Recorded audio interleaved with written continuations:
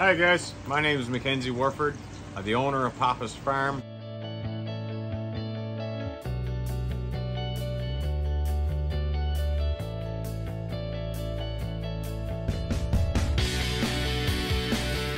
First crop went into our troughs in November 21st, 2021, and we haven't looked back since then.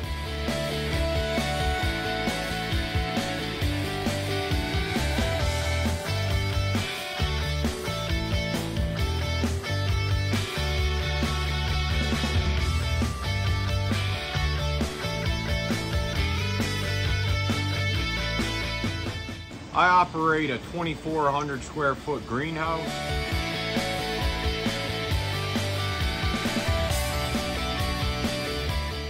We grow a variety of crops here, such as lettuce, loose leaf lettuce, romaine lettuce, iceberg lettuce, Bibb lettuce, Swiss chard, kale, a variety of different herbs.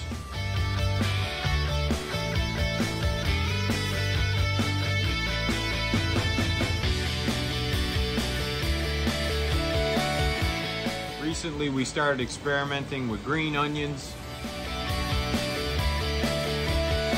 We also do traditional produce such as turnip greens. A typical day in the greenhouse could consist of many different things such as seeding, harvesting, transplanting, cleaning these troughs, cleaning the entire system itself, and during the winter we end up with fun situations where we have to end up shoveling snow.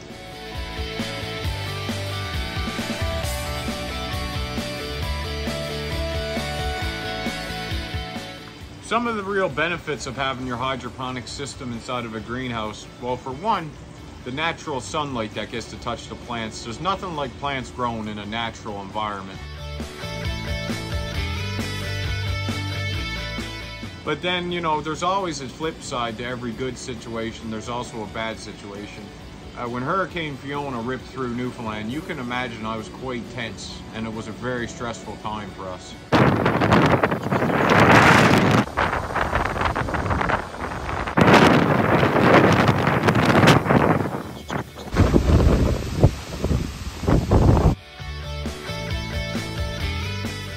Uh, being in a hydroponic greenhouse, you're facing all the weather environments and you actually have a little bit of a harder time dealing with uh, controlling that environment.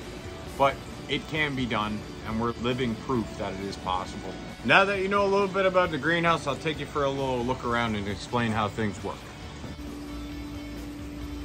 The beginning of the plant's life finds them here on the heat mats. Right now, these plants are already at the point where they don't need the covers. So this here is romaine. And the grow medium is called an oasis cube. See, I got another batch down here. And we call this one the G1 here in Papa's Farm. This is the germination station number one. We'll move on to the G2. Here is my G2 station. It is a little bit smaller version of my NFT system. It also has a main tank, which recycles the water and the fertilizer. And the plants come in this system when they're the smallest, and they only receive half the fertilizer of what they receive in the entire system, the big NFT system.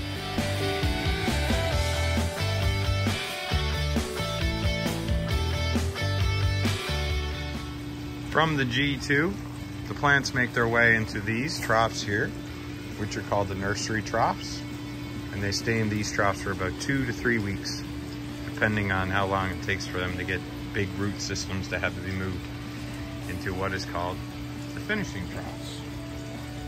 The spacing on the finishing troughs is eight inches, so it gives those plants enough room for their roots to grow see down there I had a big harvest recently so we're filling all that back in. As I mentioned we grow a variety of different produce here. This right here is Swiss chard. If I were to compare it to something uh, I would say it has a bit of a texture and taste of cabbage. It's absolutely delicious. Here is our traditional turnip greens that we just had to harvest from recently. So they're looking a little bit small right now, but still delicious. Here's the king of my romaine lettuce. Absolutely large, beautiful. We have a batch of small lettuce, romaine lettuce coming up. They've got a little while before they reach that stage. Over here, this here is the young fire red lettuce. This is a loose leaf variety. And then we move down and we can see some mature fire red lettuce. Now, the loose leaf lettuces can be harvested time and time again. So that's why my mature loose leaf lettuce looks to be about the same size as the baby and the young loose leaf lettuce. But that's because I've already hauled big harvests out of my mature lettuce and it's growing again. Here we have some beet tops, which are delicious. A nice mix for your salad mix. And then mustard greens, which go cook, go good cooked just like uh, the traditional turnip greens here. The hydroponic system itself starts right here where we have our main tank which is covered up not allowing the light in so we don't build up algae. We're hooked up to a 1.5 horsepower pump with a filtration system. Pressure valves comes up to a three quarter inch line. And then it's spaghetti hose, we call this, which is about a quarter inch line with rubber grommets. So it just feeds the water in one end. And all the troughs, it might be hard to tell, but all the troughs are leaning downwards, right? It's three and a half inch drop from one side to the other. So the water flows in on this end, goes all the way down to the end. And down on the other side there, zoom in a bit, there's an eaves trough over there. And that eaves trough is tilted all the way down towards the main tank. So it's gravity fed. There's nothing pushing the water back to the main tank. It all flows naturally. And the same thing on the other side. And so that's why the hydroponic system is so efficient and useful. It's got a recycling system. It always recycles its fertilizer and its water. And of course, no greenhouse would be the same without a custom geothermal system. We got 2,400 feet of weeping tile under the ground here.